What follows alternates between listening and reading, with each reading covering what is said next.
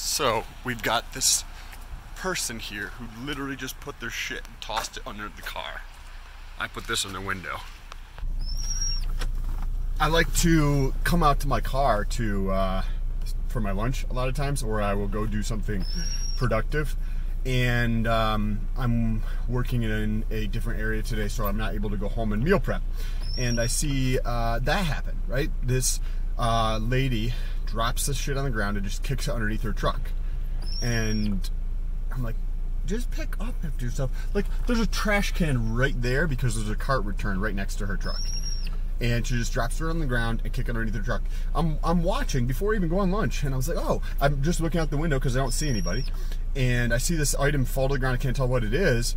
And I, I see it there, and I was like, oh man, that's still sitting down. Maybe she didn't realize that she dropped it because it's getting all wet. It's raining out. And then sitting there, and I'm still watching. I was like, oh man, I, her shit's gonna get soaking wet because it's sitting on the uh, parking lot, right? And about seven or eight seconds later, I see her just kick it underneath the truck.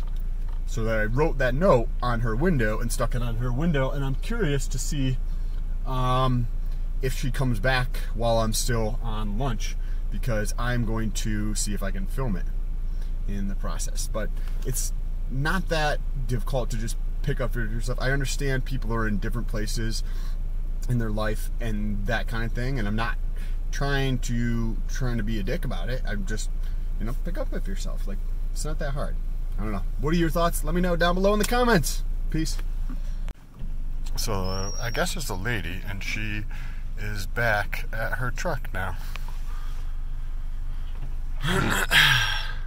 you can see it's that truck right there with the yellow on the side of it. She is putting in her groceries on the far side of the truck.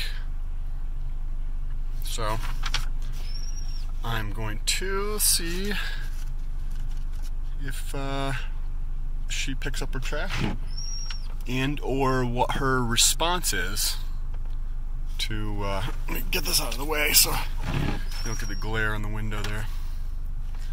You can see there's her cart in terms of it's hard to see because the front windshield's there we go. There's her cart. So I'll just film it like this and see if uh, she does anything about it. She's uh, walking back across now. She just put her cart away. Let's see what she does. Her trash. I don't know if she's. Whoops, I put that fucking in front of the thing. She picked it off of the window and looked at it weird and kind of looked around. Fuck, I just missed that. The whole reaction on that one. On that. Completely my bad.